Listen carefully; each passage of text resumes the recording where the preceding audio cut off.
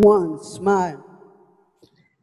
Good evening. Um, this is the Empress of Love, Miss Sheila, coming to you with the another Saturday night Poets Table of Verse.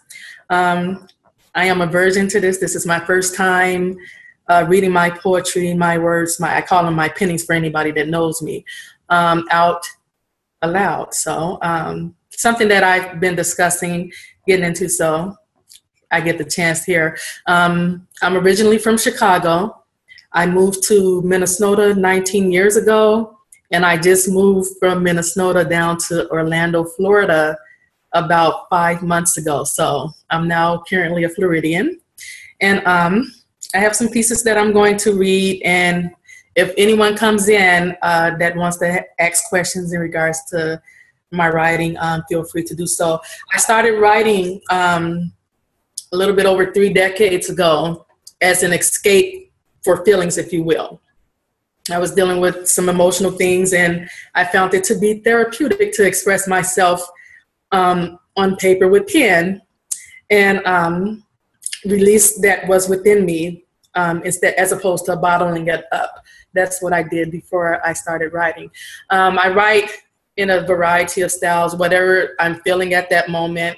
I do a lot of response um, to things that maybe I'm dealing with, or maybe even other people are dealing with. I have a piece that I, if I get around to doing, that I had written for this young lady who was going through some turmoil, and um, i think I'll get a chance to share that with you. So I write a different variety of styles, um, depending on how I feel and how the flow is coming. I write mostly from experience. Sometimes I throw a little bit of um, of um, creativity as far as well it, it's all creative but sometimes i throw in a little bit of i'm trying to think of that word um, fiction if you will. So sometimes um, i may be a little fictionist with my words and i, I like to play with them. Um, hi ms loney it's good to see you sweetheart. Um, i like to play with words so um, i'm going to start off with this piece and this is actually a, um, a piece that that I experienced, and and I was very emotional when I wrote it. Um, excuse me, I was going through some things with an incident, an incident with my youngest daughter. I'm very overprotective of my people, and especially my children. So um, as I read, you may be able to feel the passion behind my words, and I'm hoping that I can keep this up. Maybe I shouldn't have started with this one, but this one is first. It's called last night I met an angel. And it's um, a piece that I had actually did um, in the Lions Den, the, the Lyrical Den, the Lyrical Den, a group that I'm in, and um, we got sometimes we get little topics to pin off of. So it was about an angel, and this is the way that I went with that. And I like doing that. I like getting little topics to do a spin off and, and give my spiel on that. It's fun to me. Um, last night I wrote a name. Last night I wrote an angel. Last night I met an angel. This was a pen, a piece I penned back in April of 2013. Last night I met an angel. As I look back over what happened and I try to fill that space, I realize I looked three shades of darkness right in the face. The first one, a man who would not only hit a female, but one carrying his seed, whom is protected away in her shell. I done told you once before, I proclaimed as I looked right into his eyes. I would die for that. Are you willing to die for this? I pointed to the other woman take, talking shh from her ride. There was a rage so deep within me that I didn't even realize the threats he threw towards me as I jumped out of my ride. As I began to walk around my car toward him, my car began to roll. You better go get your car, he taunted, but I kept toward him in my stroll. If you want if you value your life, you'd stay away from her, I say. For if you ever put your hands on her again, that would be your last day. You see that rolling car I left in drive just gets me around.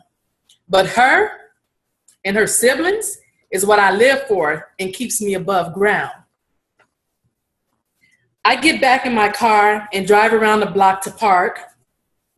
As she confides in 911, the ordeal she went through with a weeping heart.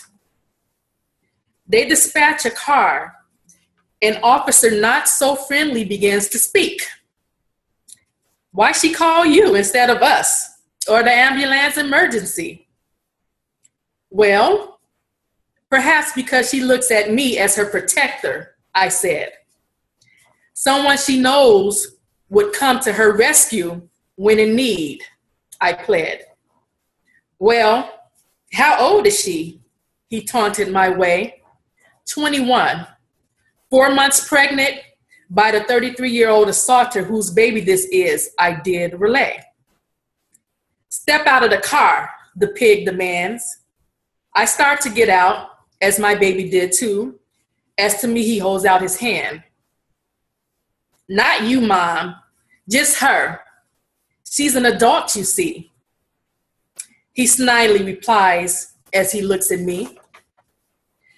I look into his eyes and see an even deeper and darker shade than the bum ass ninja I just left. And for this, he gets paid? My child begins to tell him as calmly as she could what had transpired whilst out in the cold she stood. I inform her to keep speaking as she steps to the side and asks officer not so friendly if she can at least sit in his ride. Whilst he interrogates her and try to lowly speak his vulgar words, not realizing that all of his ugliness I had already heard. He then informs my seed to meet him at the corner's end. I tell her to get the badge number of the officer who was not a friend. I asked if she wanted me to stand out there with her. I asked if she wanted me to stand with her out there, excuse me. She said she did and would rather that I get the numbers from the officer's pair. I get out, walk up, and ask if I can get his badge and number and name. He commands me to go back to my car like I know the rules to the game. Your number and your name, would you give it to me, please, sir? And besides, if I stand here or not, is really up to her. He turns to my daughter, then he threatens to leave because of me and my approach and the rights I know and believe. Had a four month pregnant, assaulted young lady standing out in the cold in the wee hours of the night, filling out the police report, and that just took my my rage to another height. I get us back home, and as I began to undress for my waiting bath of bubbles, I realized the rage in me and also that I was in deep trouble.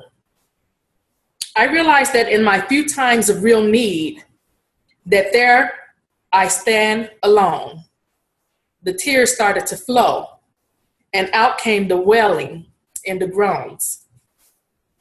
I got a chance to take a glance, a quick glance, and for a moment look deep into my eyes. I was looking into the deepest and darkest shade of darkness of the three, is what I realized.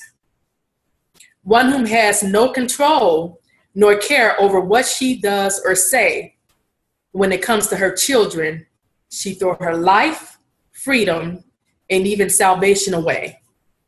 Shaking my head as I look back at the threat of my seed and hers before my eyes dangle, I realized that last night within me, in my deep darkness, I'd met an angel. Yep. As I look back over what happened and try to fill that space, I realized I looked three shades of dark angels right in their face. And I pinned this one under Miss Sheila. This is one of my old pieces. So I um, have that one pinned, and um, I don't see any questions. so I can um, speak on that one. I um yeah, so like I was saying, um, this was actually depicted from a real life experience and um, some of the things that I felt as um, this whole ordeal, if you will, transpired. Um, and when I got home and I went through that ordeal of looking at myself because sometimes like when I get in that that space, if you will, it's hard to pull me out. Actually, I saw some type of flash of light, and that's what kind of snapped me. Otherwise, I might not have come out of it at that moment when I was speaking with the um, the gentleman, if you will. Um, so I, I just released what I was feeling with my pen in regards to the angel that we um, discussed that we were going to pin around, if you will, in the group. So that's the first piece that I would share. And um, I'm going to read the, the piece that I said that I would read in regards to the young lady that was going through a bit of turmoil in her life, and she was speaking as she felt like giving up, and it was um, no hope. So they say like is what you make it. That's not diamonds and pearls. Pride naysayers.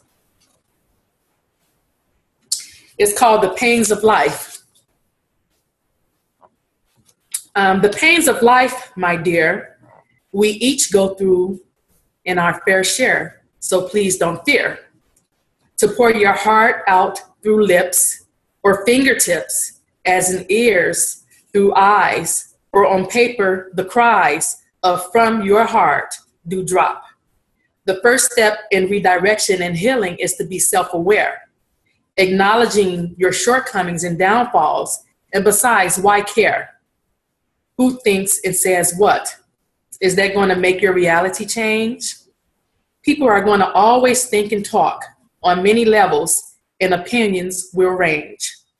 Whether you do this or whether you live like that, it doesn't make a difference when it comes to those who like to chit chat. So chalk it, so chalk up, yo, it is what it is, and mold it into what you like it to be. And whilst in the midst of becoming whole and letting go, press towards the mark till you claim your victory. So I do also a lot of inspirational writings. Um, I call them my little daily words. I um, stopped them a little while ago. I'm thinking about picking them back up, and sometimes I will um, share them here and there um, from my archives, if you will. So I, I like to encourage people to don't give up. I share a lot of my testimonies um, because been there, done that type of thing. When when someone can relate to you and your struggle, it helps their hold on mean a little bit more to you. Um, where does the majority? This this question is from Miss Loney. Um, where does the majority of your poetry comes from? Is it circumstances of the other people's lives or from your personal triumphs and trials? The majority of my, my poetry comes from my personal experience my personal experience. Sometimes I may um, get in in respond to something that someone else is going through to um, encourage them. Most of the time, it's not going to be in a form of a penning or poetry, if you will. Um, it will be in you know from my heart in an inspirational aspect from in words, if you will. Sometimes I might do an employ. The the young lady that I did that piece for in response to that, she was a poet herself, so a poetess, if you will. So that's why I responded to her in that manner. It's something that she could relate. I like to relate to people, not to just say this is this and that is that, and don't have any like connection of experience, if you will. So um, that was what that one was. But most of my, the majority of my poetry comes from experience. And sometimes I might throw a little bit of um, fantasy in there, especially if I'm in that mood where I'm a little bit more sensual. Sometimes I can write sensual stuff, you know, sometimes I get in that mood. And usually that's a bit of fantasy. Um, I have this piece called Diamonds and Pearls. Diamonds and Pearls. What worth does diamonds and pearls hold when truth be told has gotten old. when seemingly the masses are walking around with half empty glasses, stuck on self with heads up there. Wait just one cotton picking minute before I go there.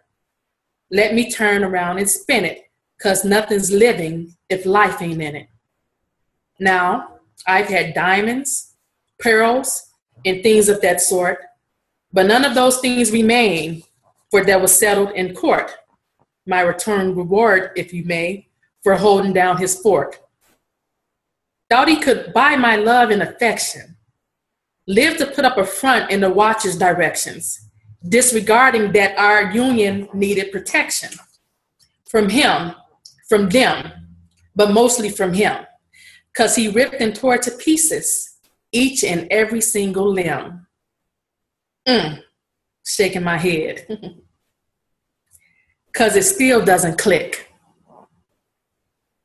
Even though he's tried, even though he's tricked every try and tried every trick. The towel got thrown because I was tired and I was sick. I gave him chance after chance to tune in and dance, but all he done was pull down his pants, showed his natural black behind, realizing too late that he had a gold mine, someone of real worth that in these times are hard to find. It's going to take more than some green, more than some things. It takes someone who means what they say and says what they mean so that you won't have to second guess, so that your mind could stay at rest and focus could be on what's going to deliver you all's best. Yeah, diamonds and pearls are nice to view, but they don't show the real value of you, nor do they honor what's pure and what's true. So if I had a choice in possessions in this world, I choose love, respect, and honesty in a twirl and throw to the heathens those diamonds and pearls. For what worth do diamonds and pearls hold when Truth Be Told has gotten old. And this is from June of 2013, one of my pieces. Um, I have a question that says, How often do I compose verses? Um, I was just speaking about this earlier to my pastor when I shared my latest piece that I wrote with her. Not wrote with her. I shared the latest piece that I wrote I shared it with her. Um, sometimes I can do several in a day, and sometimes it may be months before I do anything. So it's just when I'm inspired. What I will say, that last piece that I wrote about diamonds and pearls was in sense of my ex-husband, um, whom I was with for 17 years. And for those 17 years, I wish I would have had that shared that one. Um, in those 17 years, I didn't write anything. One piece that I wrote maybe the first year into our relationship when we were um, actually getting ready to break up. And I was speaking with a friend of mine in regards to writing, and I had shared with them that I wrote for so long, but I hadn't written anything since I had been with my now ex husband because I didn't have any motivation. It was like, not the motivation, it was no inspiration there. And I wrote a piece, and I'm trying to think of what the name of it was. I just remember saying it was like my ink had dried. It was called When Poetry Wins. When Poetry Wins. My ink had dried up. It had the, it's like it had a tourniquet on it. But um, yeah, I it it just depends on my mood and how freely I'm blowing and feeling um, if my mind is at ease. I have this lake in the midst of my um, community, the community that I live in, and it's very serene. I love water. It's water is so peaceful to me. So I will go out there sometimes, and I'll read, and sometimes I might write a few um, words, if you will, and sometimes I may feel more into a writing mood when I get home but it just depends. Um, and what's going on in my life and where my mind is and if I'm at liberty to flow.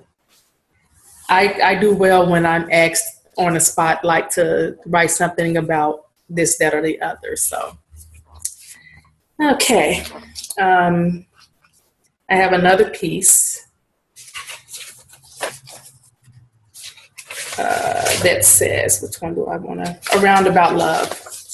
Um, Empress Love, I am the Empress of Love. I am Empress Love. I love love. I love love. So I write a lot about it, even um, in my inspirational uh, pennings, if you will, or writings, daily words. You'll feel the love in it. I um, love people, and I just love the essence of love, if you will. This is around about love and it's um, speaking in regards to the world that a lot of folk are experiencing today and mislabeling it as love, if you will, and how it's a vicious circle. Um, this piece was put together in April of 2013. This, I have a lot of pieces from 2013, I see. It's called Around About Love. And around about, you know, if you go some areas have these roundabouts where you have to take a turn and you kind of if you're not paying attention you get kind of caught up in that roundabout like where am i going? So this is called a roundabout love. I love you stated is often deflated by intentions unmatched to words that elated. Playing with a heart that you knew from the start that in your future it would have never be apart. Stringing along with words of a song used to lure them down a path that's wrong. Deception at its best by a callous hearted guest, using up space within a foolish heart's nest. Although once was plenty, they've reached one time too many. Now their once pure heart has now become denty, battered, bruised, scarred, hurt, and used. Now they are caught up in the cycle and confused, wanting to even the score, looking for an open door. For a loving heart, but theirs now loves no more. So now they string along with words of a song you're used to lure them down a path that's wrong. Playing with hearts, which they knew from the start that in their future they would be no part. Empty I love yous, they state, creates one whom becomes irate, and two gets caught up in this vicious circle. Can you relate? Around about love. That's that piece.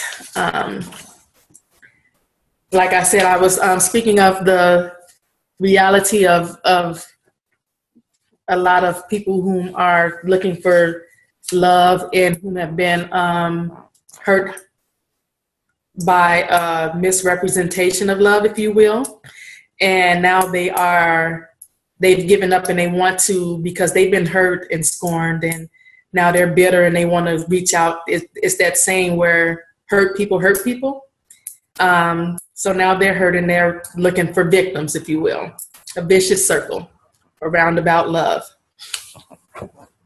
Uh, okay.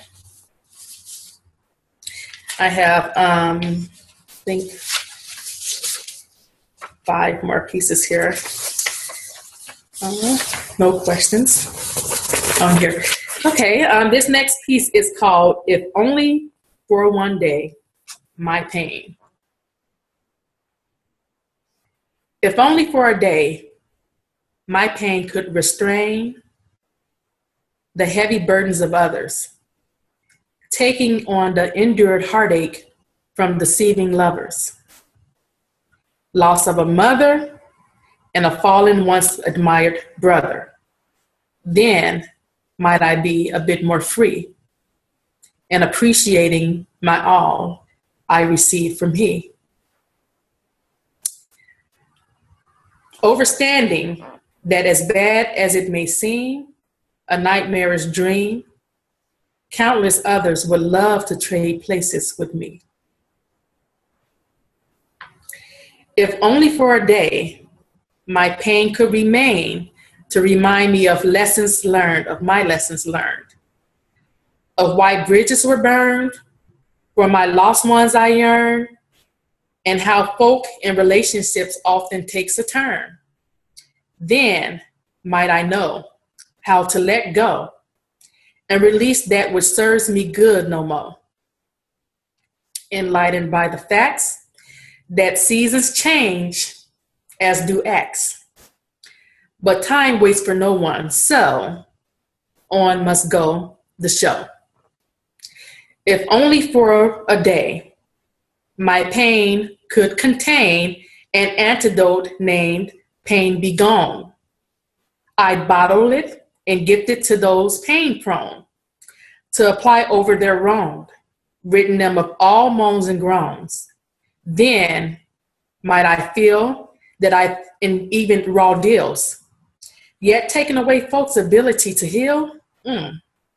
robbing them of destined lessons, disguised within a blessing, and the ability to decipher fake from real. Mm. Mm. Mm. If only for a day, my pain could sustain me, if only, but as a reminder to that pain helps shape you and can bring closer to He who is able to carry and see you through.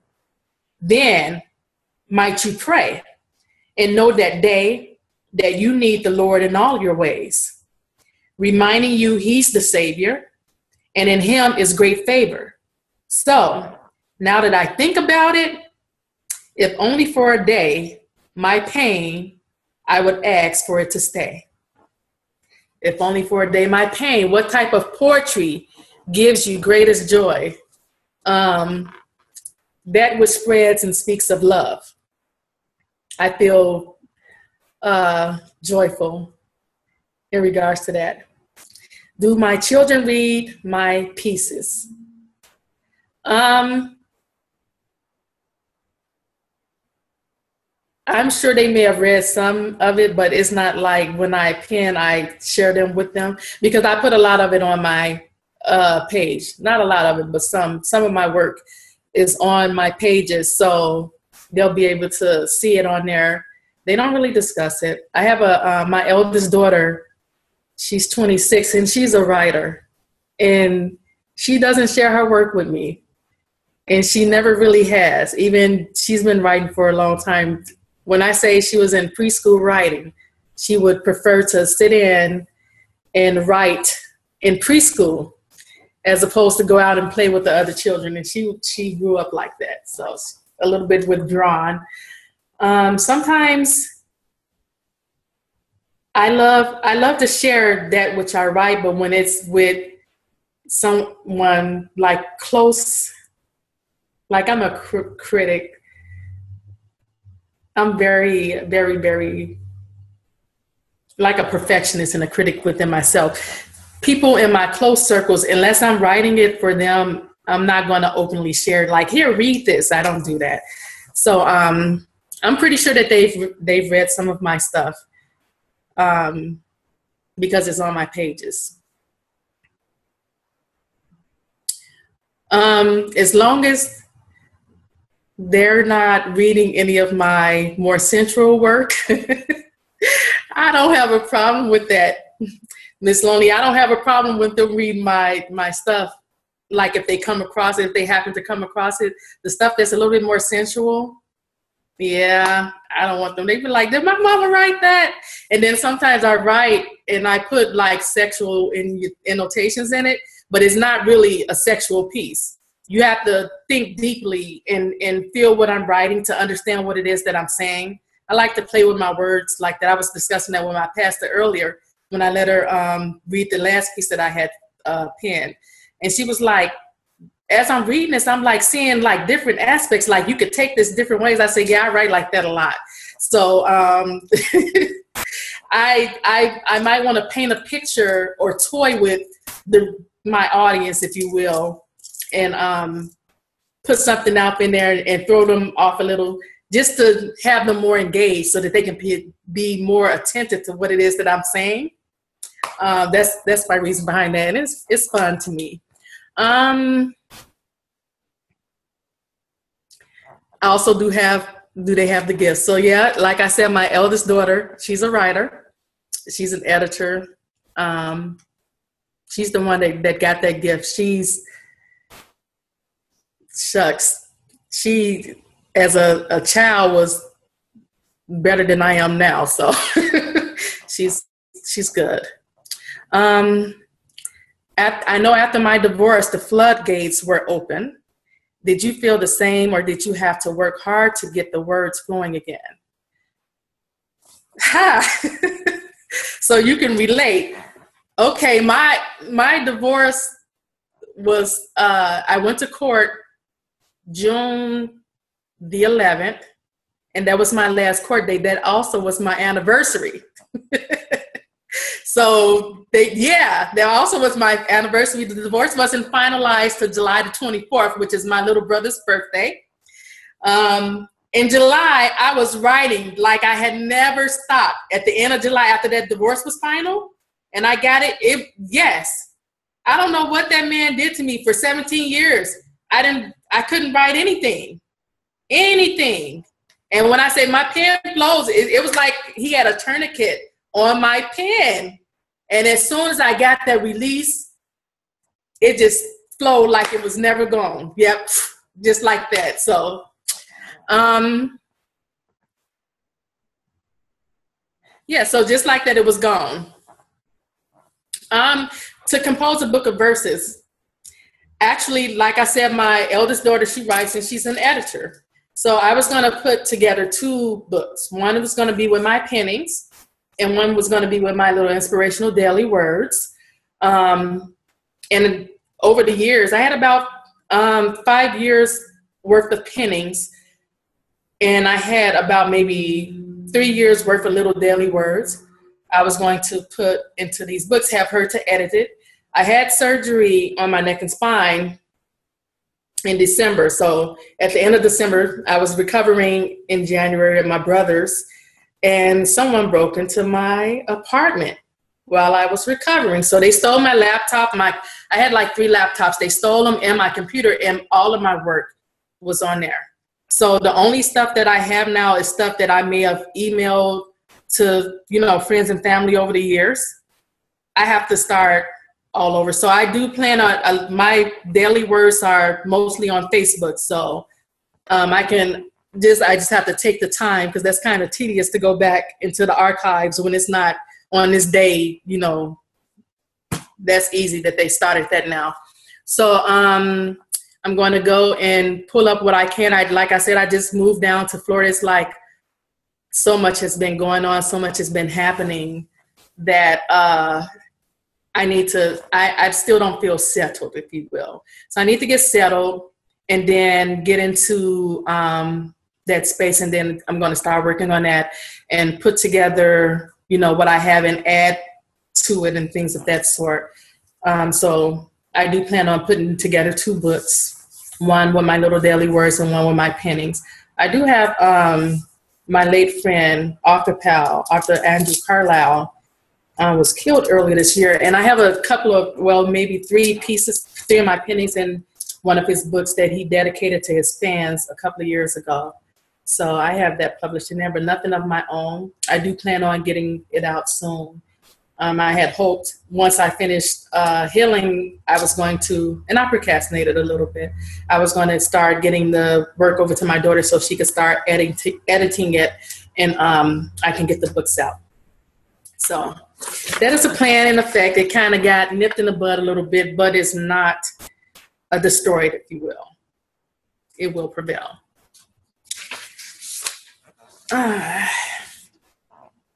What a nice one to come behind that one.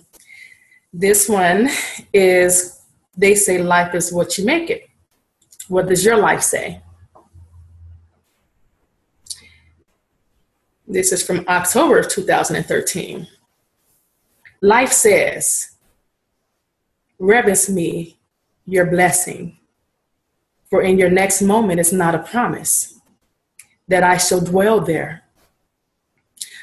Appreciate those in that which I allot you, with the buffering that comes with, to blot out of you that which means to stop you from reaching your peak in me or hindering you from seeking me and from full appreciation when you think of me.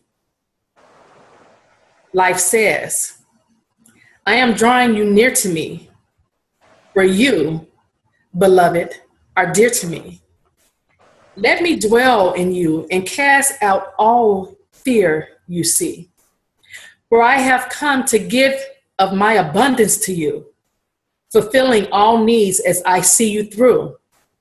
Every test, trial, heartache, and tribulation, just to name a few. Building your precious faith as I do what I do. For I am the life, everything and all, and would be that for you if only on my name you would call. For in me you can stand strong and tall. Just recite my prayer as to your knees you fall. My Father, which art in heaven, hallowed be thy name. Thy kingdom come, thy will be done on earth as it is in heaven. Give me this day my daily bread, and forgive me my debts and trespasses, as I forgive my debtors and those whom trespass against me. Lead me not into temptation, but deliver me from evil. For thine is the kingdom, and the power, and the glory, forever and always. Amen. Life says, I knock at the door of your heart, you see, sent to you by the mighty He. Let me in that I might dwell with thee and be to you what you allow of me. Life is what you maketh. Be in tune mm. as he speak. I have another question from Miss Loney. like your daughter, did you start early with writing? If not, when and how? No, she started a lot earlier than I. Um, shucks, she had she she was in this. She was one of those teachers' pets, so teachers flocked to her. They loved her because she was such a smart child. So when they saw how well she wrote, she wrote, she was in third grade. And they did this thing for families where the children put together these books and they actually they um, published the little books that these children put together and on the family night they had their published copies of these children's books and it was inspired by her and her writing she was in third grade then. Like I said earlier, I started when I was about 10 years old. So I was like in fifth grade. Mm-hmm. Yeah, shucks. Um, I was in about the fifth grade when I started. She started almost out of the womb. I was she's she's my oldest and like I said, I'm a perfectionist. Mm-hmm. And and I like to pull out the full potential if I know that you're capable. I mean, if you're a student, don't bring me an A minus. I'm not going to appreciate it. But if you're a, a D student and you bring me a D, I'm gonna know you did you, your best. If you bring me a D plus, I'm gonna be astounded because you really applied yourself and you mm-hmm. pushed past your potential. So, in saying that, because I knew she was capable, I taught her to read. Mm-hmm. For for second for her second birthday, she got hooked on phonics and what made what had me to get that for her is she was one year old and my mother and I we would be talking around her and we don't want her to hear what we're saying. She, we don't want her to know what we're talking about. So we would spell words out. And she'd be like, I know what you said. I'm like, what I what we say? Because I'm like, no, you don't. What we say? You said this, that, that, this, that. And I'm like, little girl. So got her hooked on phonics at two, years old, Mm-hmm. she learned to read. Mm-hmm. And at two years old, she read to learn. So by the time she got into preschool, she was already reading and writing. She was Mhm. already reading and writing. So she would stay in from recess, and her teachers thought it was cute. And they probably should have made sure she went and inter- intermingled with the other children because, like I said, she's 26 years old now and she still has that mindset. Mm-hmm. Um,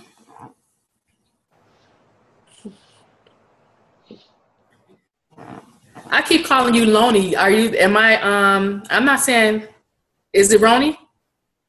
Lon, Lonnie. Lonnie. So I'm saying Lo- Loney, and it's Lonnie. My bad. My accept my apology. Don't charge it to my heart. Charge it to my mind. okay. yes. Yes. Yes. okay. Um. Okay. So we have that piece. Ah. I'm a prideful person. This next piece keep coming up, and I've been pushing it. Oh, come on. I I I didn't realize I had a a, a problem with uh, pride until um, I went through this bad. Uh, I don't even know what to call it, breakup or whatever, and I'm like, because of my pride, I it, it just got distorted. Um, I'm going before I start this, I'm going to answer this question.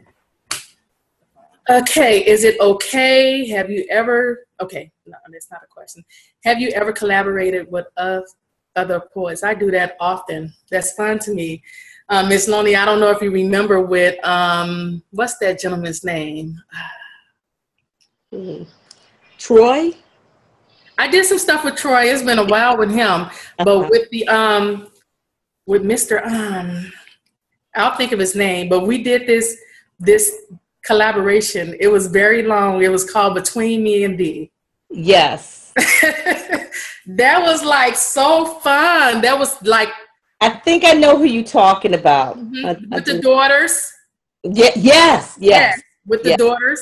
I know. That was like so fun. Yes. um, when I did that with him, and it was like we were back and forth, and it's He's an excellent uh, uh, writer. he is Yeah. he is. That was like beautiful. That was some of my I do I think I do my best work collaborating or coming feeding off of other people and Exactly. bringing that in. I do well like that, and we were speaking about love and relationship, and that's like one of my favorite topics.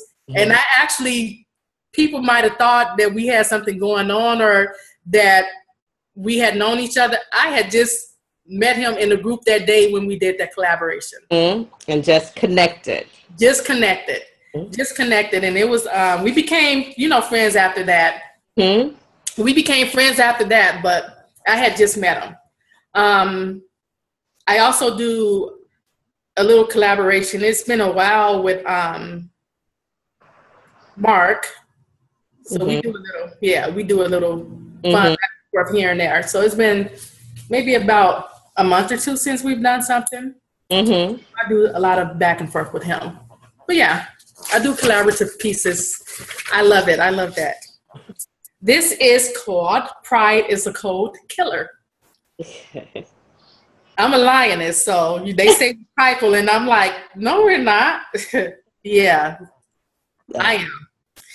But I'm working on it. It gave me something to work on to uh, better myself, if you will. Pride is a cold killer. Pride, mine, clinging on to it for life.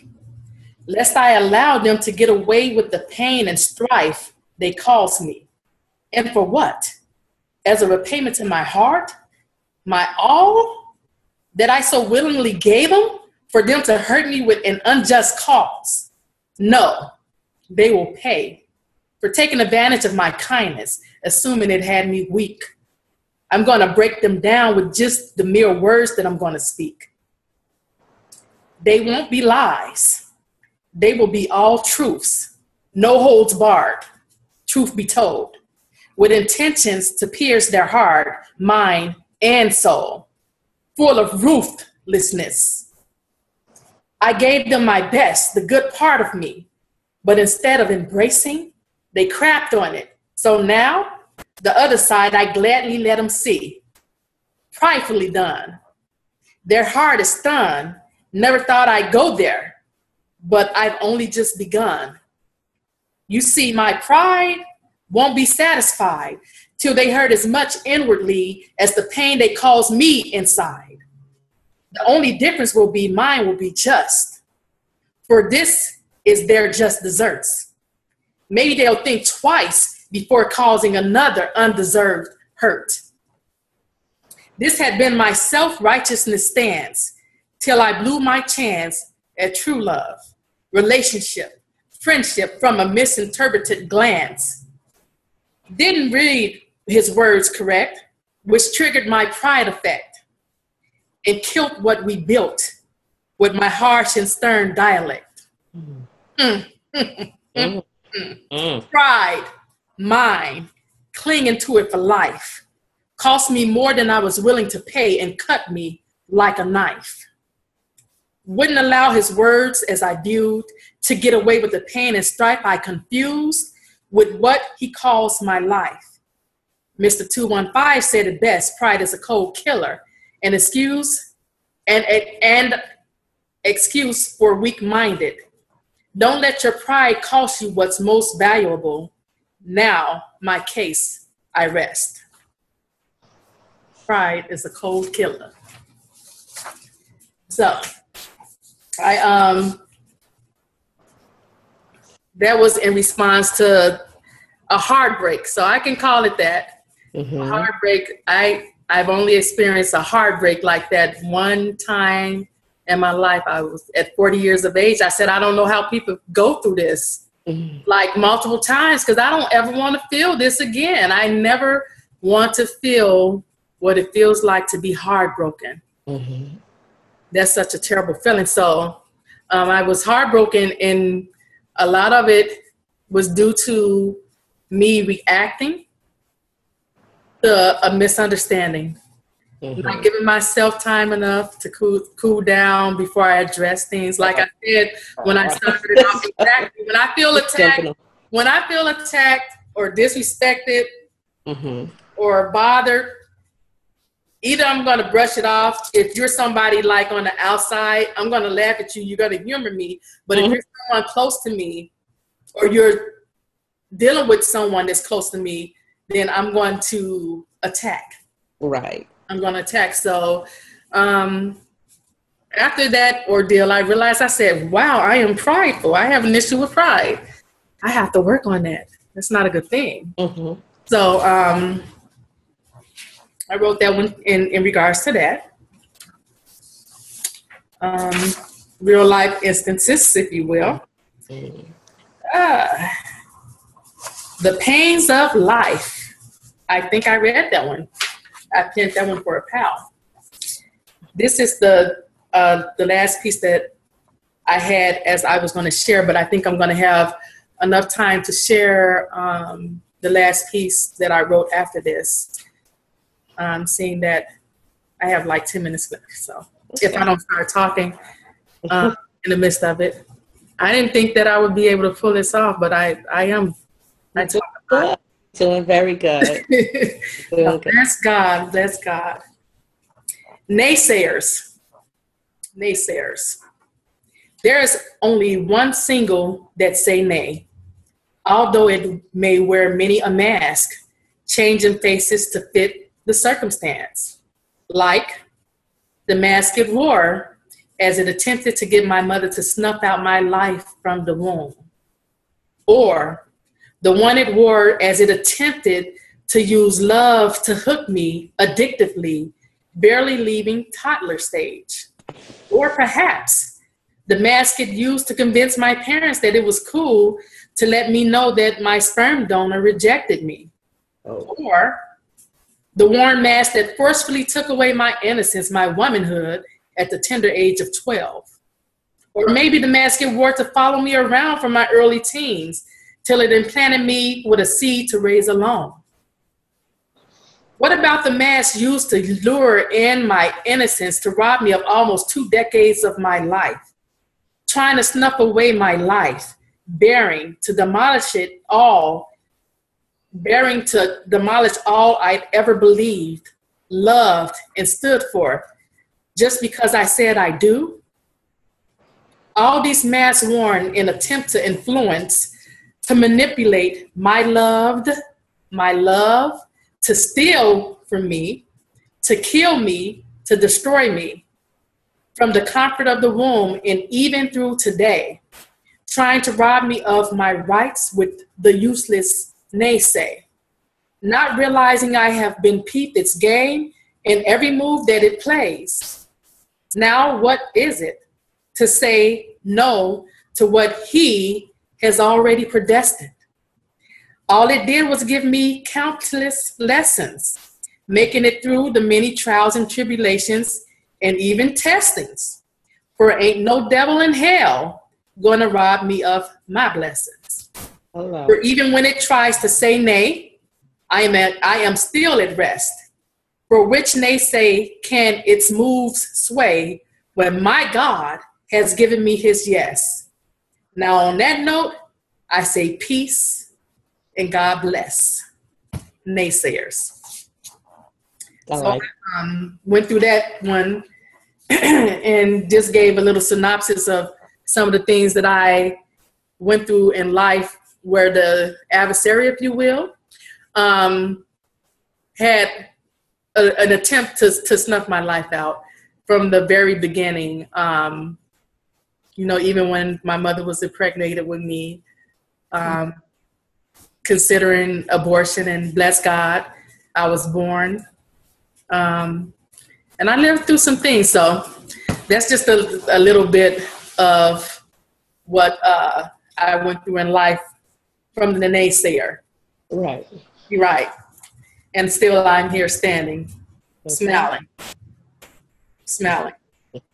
So I have this one last piece that I'm going to share. It's a piece that I um, did, I think Wednesday, today is Saturday. So I did it on Wednesday. And um, it was in response to my sweetheart, someone who's dear to my heart, my sweetheart. And they were pouring something out in their heart.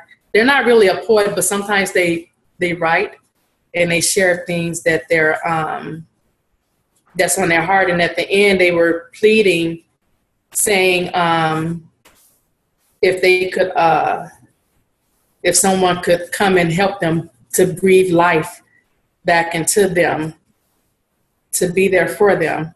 So I wrote this piece and I called it called it um, resuscitated. Okay. Yeah, resuscitated.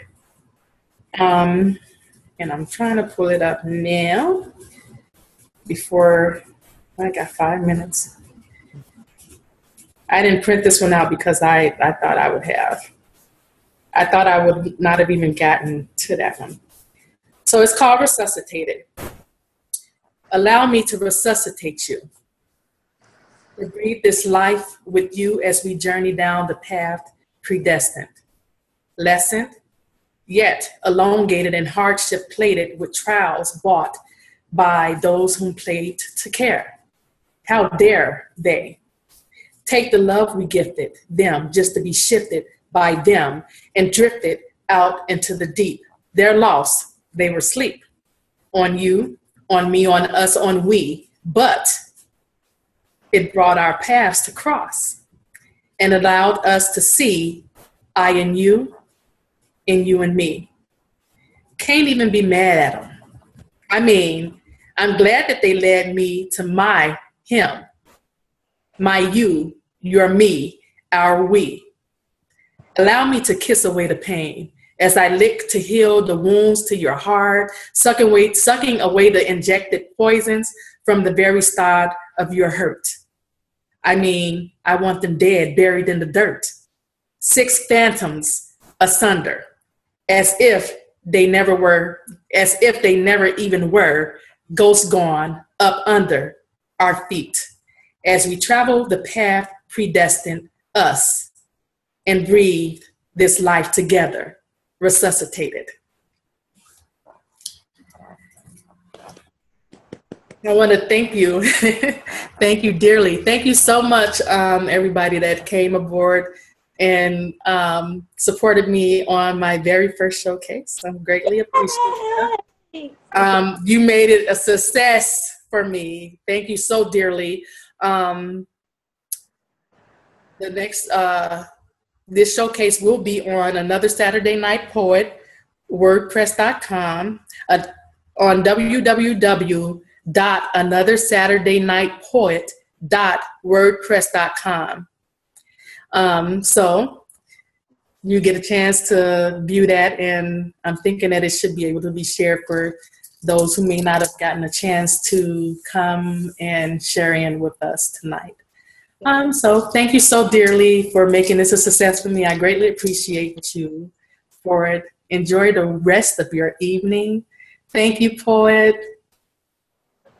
Ocean Christopher, poet. Thank you so very much for this opportunity and um, your patience in uh, diagnosing our problem and, and making sure that this was a smooth night for us. I thank you greatly from the depths of my heart. Thank you, Miss Lonnie. Yes. Lonnie. Yeah. God bless you both. Thank you so much. Okay. Bye-bye. Goodbye. Goodbye.